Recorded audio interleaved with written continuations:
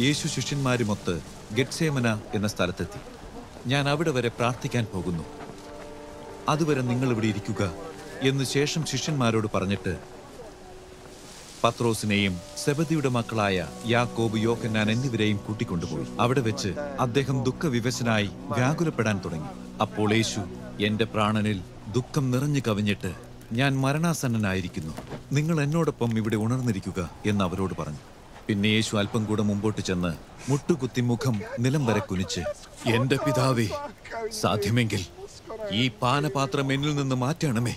എങ്കിലും എന്റെ അഭീഷ്ടം പോലെയല്ല. അവിടുത്തെ അഭീഷ്ടം പോലെ തന്നെ ആകട്ടെ എന്ന് പ്രാർത്ഥിച്ചു. അതിനുശേഷം യേശു ശിഷ്യന്മാരുടെ അടുക്കൽ മടങ്ങി വന്നു. ഉറക്കത്തിൽ ആണ്ടുപോയ ശിഷ്യന്മാരെ കണ്ടിട്ട് ഒരു മണിക്കൂർ പോലും എന്നോട് കൂടെ ഉണർന്നിരിക്കാൻ നിങ്ങൾക്ക് കഴിയുന്നില്ലേ? എന്ന് അദ്ദേഹം പത്രോസിനോട് ചോദിച്ചു. പ്രലോഭനത്തിൽ അകപ്പെടാതിരിക്കാൻ ഉണർന്നിരുന്ന് പ്രാർത്ഥിക്കുക. ആത്മാവ് സന്നദ്ധം എന്നാൽ ശരീരമോ ദുർബലം. യേശു രണ്ടാമതും പോയി. എന്റെ പിതാവേ ഞാൻ പാനം ചെയ്യാതെ ഈ പാനപാത്രം നീങ്ങിപ്പോകുക സാധ്യമല്ലെങ്കിൽ അവിടുത്തെ അഭിഷ്ടം തന്നെ നിറവേറട്ടെ എന്ന് പ്രാർത്ഥിച്ചു. അദ്ദേഹം തിരിച്ചെത്തിയപ്പോൾ നിദ്രാഭാരം കൊണ്ട് അവർ പിന്നെയും ഉറങ്ങുന്നത് കണ്ട് വീണ്ടും അവരെ വിട്ടുപോയി. മൂന്നാമതും അതേ കാര്യം തന്നെ പറഞ്ഞ് പ്രാർത്ഥിച്ചു. പിന്നെ അദ്ദേഹം ശിഷ്യന്മാരുടെ അടുക്കൽ മടങ്ങി വന്ന് ഇപ്പോഴും നിങ്ങൾ ഉറങ്ങി വിശ്രമിക്കുകയാണോ? മനുഷ്യപുത്രൻ പാപികളുടെ കയ്യിൽ ഏൽപ്പിക്കപ്പെടാൻ പോകുന്ന സമയം ഇതാ. വന്നിരിക്കുന്നു. എഴുന്നേൽക്കുക. നമുക്ക് പോകാം. എന്നെ ഒറ്റിക്കൊടുക്കുന്നവൻ ഇതാ ഇവിടെ എന്ന് പറഞ്ഞു.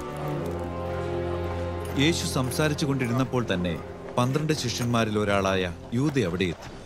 പുരോഹിത മുഖ്യന്മാരും സമുദായ നേതാക്കന്മാരും അയച്ച ഒരു ജനസഞ്ചയം വാളുകളും വടികളും ഏന്തി അവനോടൊപ്പം വന്നിരുന്നു. ഒറ്റിക്കൊടുക്കുന്ന യൂത ഞാൻ ചുംബനം കൊണ്ട് ആരെ അഭിവാദനം ചെയ്യുന്നു? അദ്ദേഹത്തെ അറസ്റ്റ് ചെയ്യുക എന്നൊരടയാളം അവരുമായി പറഞ്ഞൊത്തിരുന്നു. അപ്പോൾ തന്നെ യൂത യേശുവിന്റെ അടുത്തേക്ക് ചെന്ന് റബി വന്ദനം എന്ന് പറഞ്ഞ് അദ്ദേഹത്തെ ചുംബിച്ചു. യേശു സ്നേഹിത നീ വന്നതെന്തിനോ അതുതന്നെ ചെയ്യുക എന്ന് പ്രതിവചിച്ചു. ഉടനെ ജനം മുമ്പോട്ട് ചെന്ന് യേശുവിനെ കടന്നു പിടിച്ച് അദ്ദേഹത്തെ ബന്ധിച്ചു.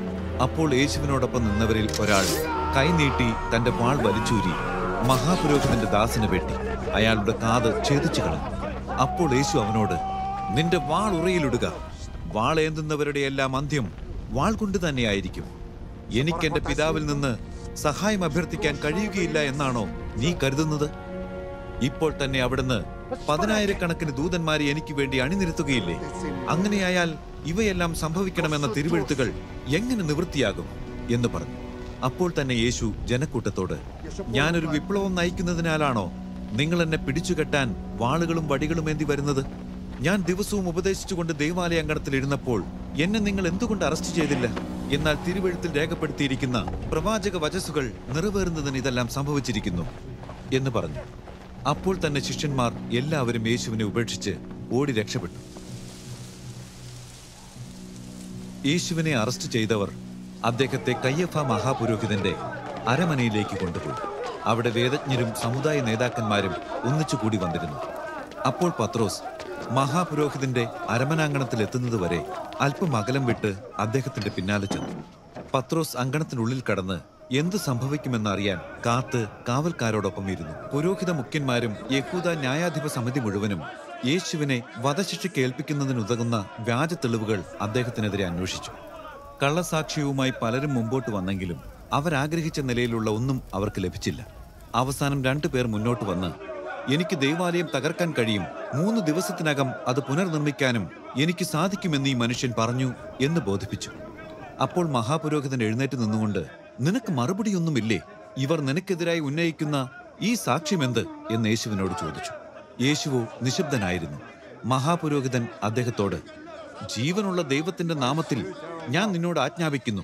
നീ ദൈവപുത്രനായ ക്രിസ്തുവെങ്കിൽ ഞങ്ങളോട് പറയുക എന്നാവശ്യപ്പെട്ടു. അതിന് യേശു താങ്കൾ പറഞ്ഞതുപോലെ തന്നെ ഞാൻ നിങ്ങളോട് എല്ലാവരോടുമായി പ്രഖ്യാപിക്കുകയാണ്. ഇന്നു മുതൽ മനുഷ്യപുത്രൻ സർവശക്തനായ ദൈവത്തിന്റെ വലതുഭാഗത്ത് ഉപവിഷ്ടനായിരിക്കുന്നതും ആകാശമേഘങ്ങൾ വാഹനമാക്കി വരുന്നതും നിങ്ങൾ കാണുമെന്ന് പറഞ്ഞു.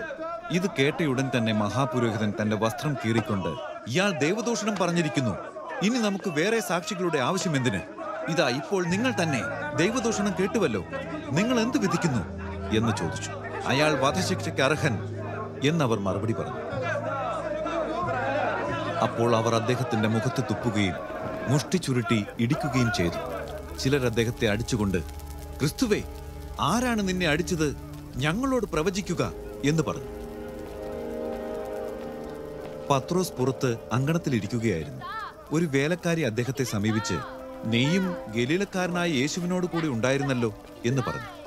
എന്നാൽ പത്രോസ് അവരുടെ എല്ലാം മുമ്പിൽ വെച്ച് അത് നിഷേധിച്ച് നീ എന്താണ് പറയുന്നത്? എനിക്ക് മനസ്സിലാകുന്നില്ലല്ലോ എന്ന് പറഞ്ഞു. പിന്നെ അദ്ദേഹം അങ്കണ കവാടത്തിലേക്ക് പോയി. അവിടെ വെച്ച് മറ്റൊരു വേലക്കാരി അയാളെ കണ്ടിട്ട് അവിടെ ഉണ്ടായിരുന്നവരോട് ഈ മനുഷ്യൻ നസറായനായ യേശുവിനോട് കൂടെ ഉണ്ടായിരുന്നു എന്ന് പറഞ്ഞു. അയാൾ വീണ്ടും അത് നിഷേധിച്ചു. ആണയിട്ടുകൊണ്ട് ആ മനുഷ്യനെ എനിക്ക് അറിഞ്ഞുകൂടാ എന്ന് പറഞ്ഞു. അല്പസമയം കഴിഞ്ഞ് അവിടെ നിന്നവർ പത്രോസിന്റെ അടുക്കൽ ചെന്ന് ഒരു സംശയവുമില്ല. നീ അവരിൽ ഒരാൾ തന്നെയാണ്. നിന്റെ ഉച്ചാരണം തന്നെ അത് വ്യക്തമാക്കുന്നല്ലോ എന്ന് പറഞ്ഞു. അപ്പോൾ പത്രോസ് ഞാൻ ആ മനുഷ്യനെ അറിയുകയേയില്ല എന്ന് അവരോട് പറഞ്ഞുകൊണ്ട് ആണയിടാനും ശപിക്കാനും തുടങ്ങി. ഉടനെ കോഴി കൂവി. അപ്പോൾ കോഴി കൂവുന്നതിന് മുമ്പ് മൂന്ന് പ്രാവശ്യം നീ എന്നെ തിരസ്കരിക്കും എന്ന് യേശു തന്നോട് പറഞ്ഞിരുന്ന വാക്ക് പത്രോസ് ഓർത്തു. പുറത്തേക്ക് പോയി അതിദുഃഖത്തോടെ പൊട്ടിക്കരഞ്ഞു.